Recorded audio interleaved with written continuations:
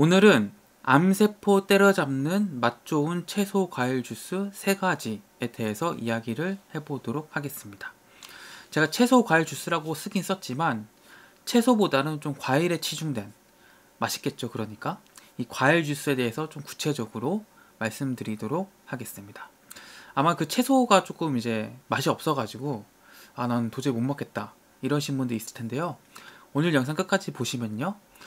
맛 좋은 과일 주스 레시피를 다실 수 있고요. 그 과일 주스를 드셔도 충분한 항암 효과, 암세포 사라지는 주스 드실 수 있습니다. 참고 도서는요. 하루 2리터 습관이라는 책이고요.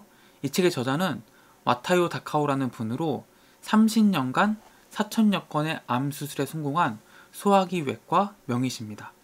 암 수술의 한계를 깨닫고 식사요법의 연구에서 이제 이런 주스 같은 식사요법의 한 획을 그으신 아주 유명한 명의십니다.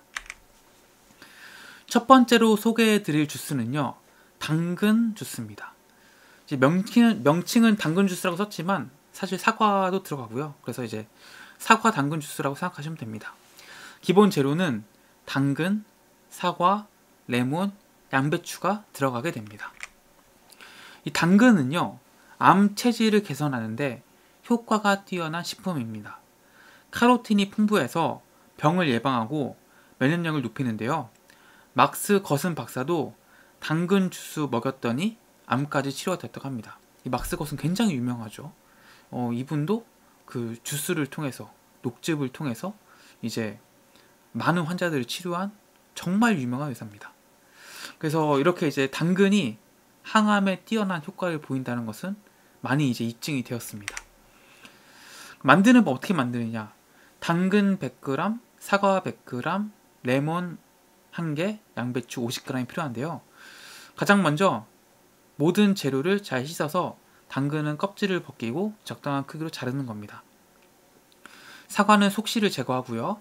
반만 껍질을 벗기고 적당한 크기로 잘라줍니다.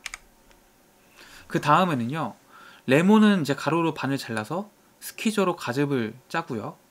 레몬 과즙을 제외한 모든 재료를 주석기에 넣고 이제 주서로 만듭니다.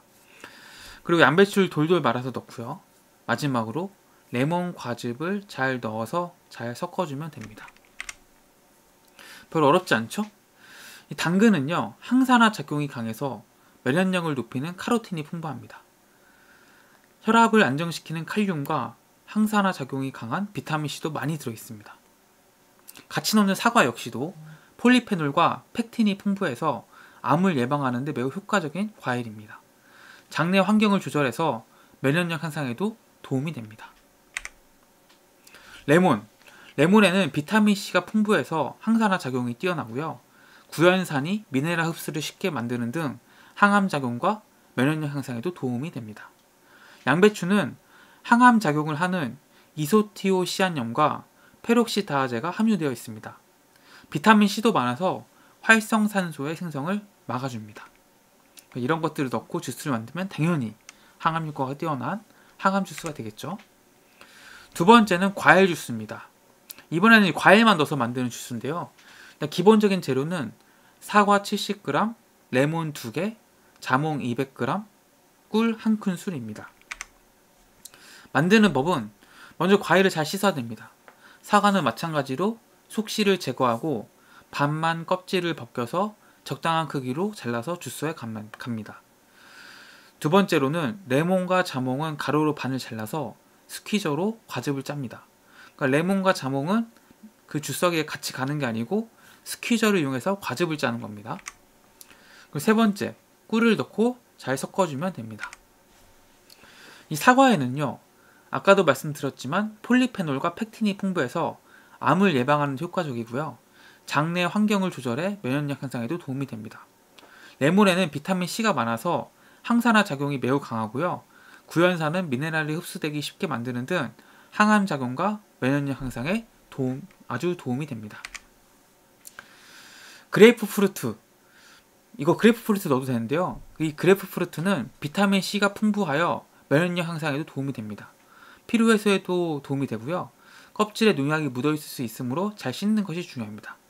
이 과일 주스기 때문에 뭐 항암에 효과가 있는 과일들을 넣어서 같이 먹어주면 되는 거예요. 그래서 그레이프프루트, 포도죠, 포도. 이 포도도 마찬가지로 취향에 따라서 포도를 좋아하면 넣어도 된다. 꿀, 꿀은 자양강장에 매우 효과적입니다. 비타민 K와 젖산, 호박산 등이 들어있으며 면역력 향상에도 도움이 된다고 합니다. 마지막은 토마토 주스입니다. 기본 재료는 토마토 150g, 오이 100g, 바질 4장에서 5장, 레몬 1개인데요. 이것들을 넣고 이제 주스를 만들어서 먹으면 되는데 만드는 법은 먼저 일단은 잘 씻어줘야 됩니다. 기본적으로 잘 씻어줘야 돼요. 이 채소와 과일은 농약의 그 잔류, 잔류 농약이 있을 수 있습니다. 그래서 잘 씻는 게 중요하고요. 토마토는 꼭지를 떼어내고요. 4등분을 합니다. 그리고 오이는 길게 반으로 잘라줍니다. 긴 반향으로 가로, 가로로 가로인가요? 가로는 아니죠? 세로로죠? 긴 반향으로 오이를 잘라주고요. 바질은 둥글게 말고 레몬은 과즙을 짜줍니다. 모든 야채를 주스에 갈아서 레몬 과즙과 섞어줍니다. 그리고 기호에 따라서 꿀을 넣어주면 됩니다. 이 토마토는 강력한 암 예방 성분이 있습니다. 그 암 예방 성분이 뭐냐면 리코펜, 라이코펜이라고도 하는데요. 리코펜이 들어있고요. 리코펜은 토마토의 붉은 색소 성분으로 녹황색 야채에 함유된 카로티노이드의 일종입니다. 그래서 이 리코펜의 항산화 작용이나 항암 작용은 여러분들이 생각하는 것보다 훨씬 더 강력합니다. 대표적인 항암 물질인 카로틴보다도 훨씬 강력하다라고 얘기하고 있어요. 이 토마토에는 카로틴과 비타민 C, 비타민 E도 풍부한데요.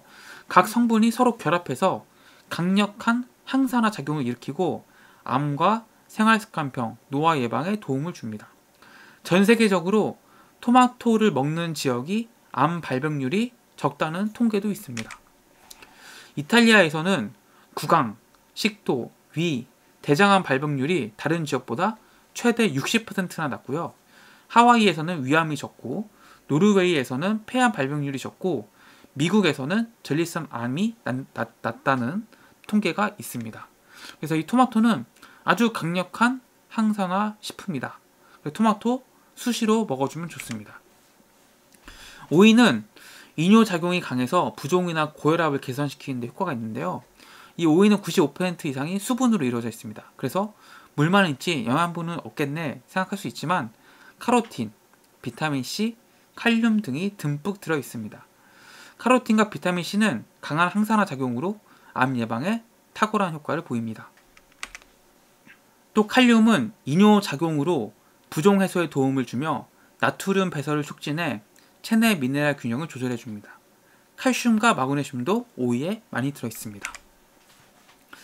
오이에는 쿠쿠르비타신 성분이 있습니다. 오이 껍질 독특한 쓴맛도 있는데요. 독특한 향은 피라진이라는 성분인데 혈액 응고를 막아서 동맥 경화 예방에 도움이 됩니다. 그래서 오이 물만 먹는 게 아니고 이 안에 좋은 성분들이 많이 들어있다. 오이 많이 드시면 좋습니다. 그래서 결론 오늘 당근 주스, 과일 주스, 토마토 주스 소개해 드렸는데요. 어, 채소 위주의 뭔가 녹즙 이런 게 좀 맛이나 이런 것 때문에 좀 불편하다. 나 못 먹겠다 하시는 분은 이런 식으로 과일을 활용한 주스를 드셔도 강력한 항암 주스 드실 수 있습니다. 그래서 채소냐 과일이냐 뭐 이런 게 중요한 게 아니고 사실은 내가 이걸 지속적으로 얼마나 오랫동안 많은 양을 먹을 수 있느냐가 중요합니다.